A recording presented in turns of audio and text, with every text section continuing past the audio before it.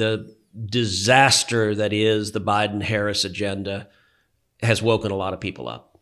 Secondly, though, in terms of taking on the Washington swamp, I think one of the most important developments has, has been the growth of an informed and educated electorate.